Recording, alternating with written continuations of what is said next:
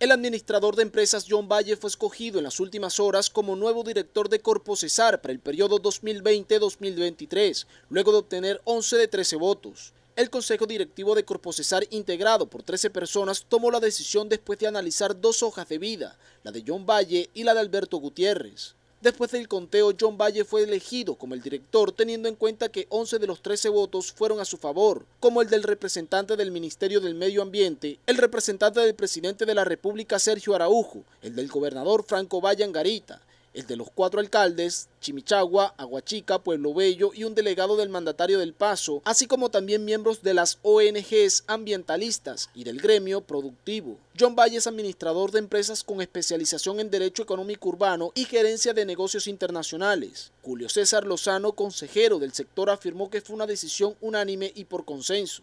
John Valle se ha desempeñado como gerente de la Contraloría del Cesar, auditor general del Ministerio de Justicia y Minas, secretario de Planeación Municipal, concejal de Valledupar, entre otros cargos.